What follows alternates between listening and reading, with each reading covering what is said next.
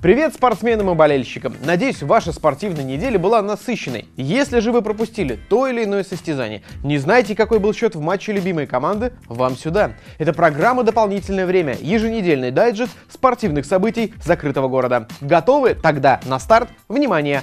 Марш!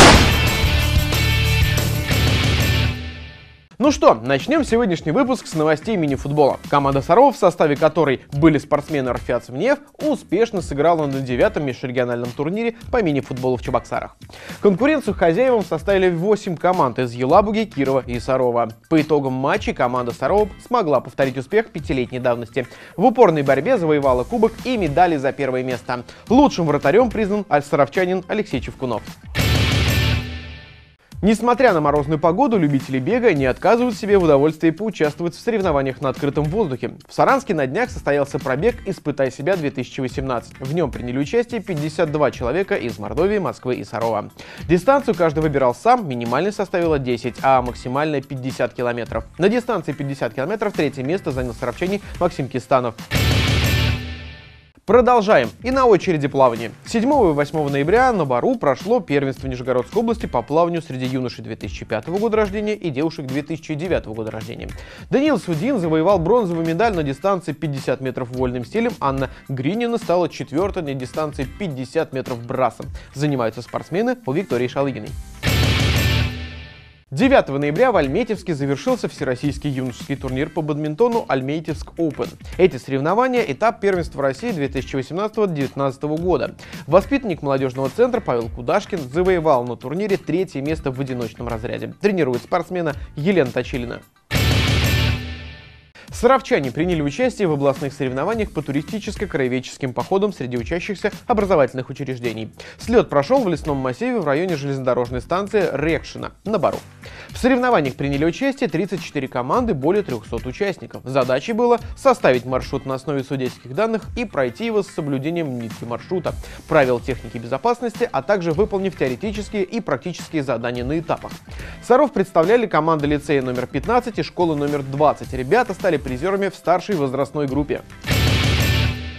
9 ноября в Санкт-Петербурге состоялся финал чемпионата мира по прыжкам на двойном мини-трампе. По итогам квалификация лидировал выпускник Саровской школы акробатики, титулованный спортсмен Михаил Заломин. И это шестая медаль в карьере саровского спортсмена. Отличный результат.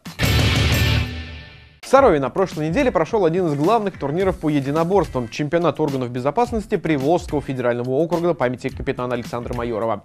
В этом году в турнире приняли участие 8 команд из Нижнего Новгорода, Пензы, Выкса и Кстова. Саров представляли бойцы городской федерации рукопашного боя и клуба «Панкратион». Им нельзя говорить много о своей работе. По долгу службы на их плечах лежит ответственность за безопасность всей страны. Раз в год в наш город приезжают силовики из различных подразделений Приволжского федерального чтобы почтить память своего коллеги, капитана Александра Майорова. На этих соревнованиях спортсмены не гонятся за медалями и первыми местами на пьедестале почета. Участие в турнире – это дань памяти и дело чести. Мы, как граждане своей страны, должны заботиться о безопасности своего отечества. Вот. А с другой стороны, конечно, это воспитание настоящего мужского начала. Пример э, как раз Александр, так сказать, в борьбе э, с терроризмом на Кавказе, как раз тот самый лучший пример, так сказать, он тоже воспитывал и закалял свой дух. Саровчанин, сотрудник регионального отдела специального назначения ОФСБ России Александр Майоров, героически погиб в 2001 году при исполнении служебного долга на Северном Кавказе. Он был кавалером Ордена Мужества и награжден медалью Ордена за заслуги перед Отечеством второй степени. Александр был воспитанником Саровской спортивной школы и имел звание кандидата в мастера спорта по рукопашному бою.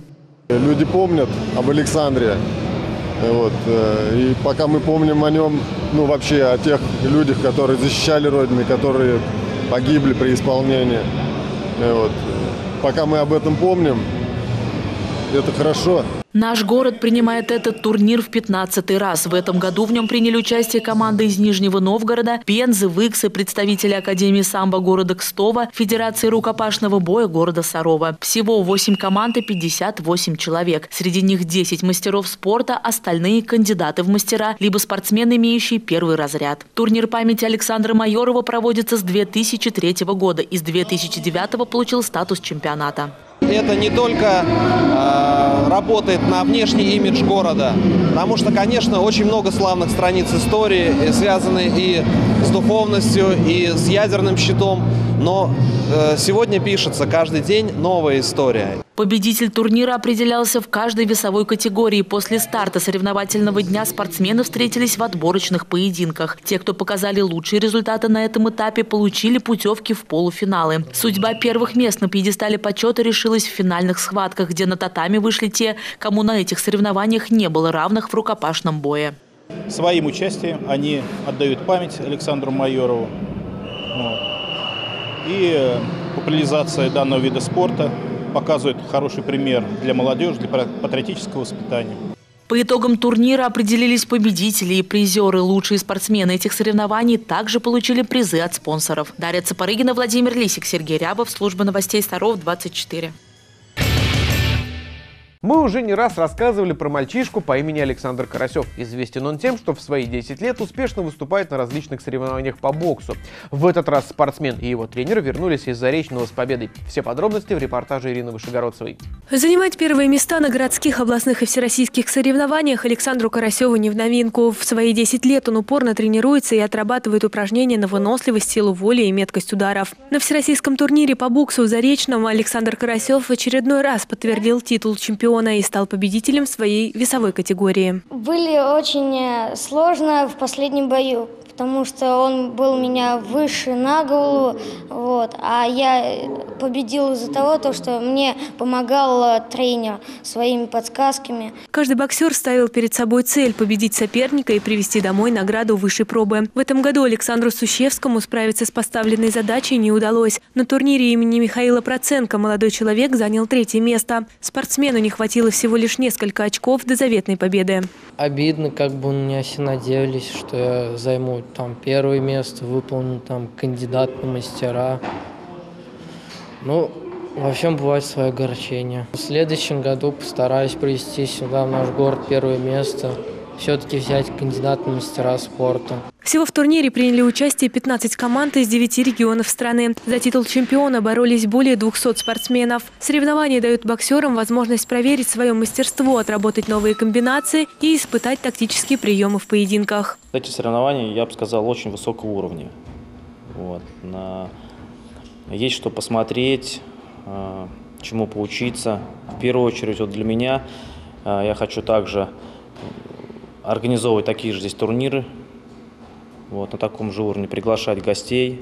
Поэтому есть чем поучиться и, соответственно, э, такой богатый опыт хороший. Сегодня саровские спортсмены готовятся к очередным всероссийским соревнованиям, которые пройдут в Рязани 20 ноября. А уже в начале декабря они отправятся отстаивать честь города в Тольятти. Ирина Вышегородцева, Артемий Глазков, Владимир Лисик. Служба новостей Саров 24. 10 ноября стартовал чемпионат Нижегородской области по хоккею среди команд высшей лиги. Хоккейный клуб «Саров Инвест», выигравший в прошлом сезоне чемпионат в первой лиге, дебютировал на новом уровне в Дзержинске, где сразился с прошлогодним чемпионом лиги высшей. Игра получилась очень напряженной, одолеть наших ребят хоккеисты «Урана» смогли только из удаления в нашей команде в самом конце матча. В эту субботу в Ледовом дворце состоится матч чемпионата Нижегородской области среди мужских команд высшей лиги. ХК Саров Инвест принимает у себя ХК Павлова. Начало в 13 часов. Вход свободный. Приходите поддержать наших ребят. Такой была эта спортивная неделя в Сарове, состоящая из побед и поражений, успехов и неудач. Хотите быть в курсе всех наших новостей, первым узнавать самую актуальную информацию или быть героем наших сюжетов и программ? Подписывайтесь на наш канал на YouTube и присоединяйтесь к нам в социальных сетях ВКонтакте, Инстаграм, Фейсбук и Одноклассники. Всем побед! Пока!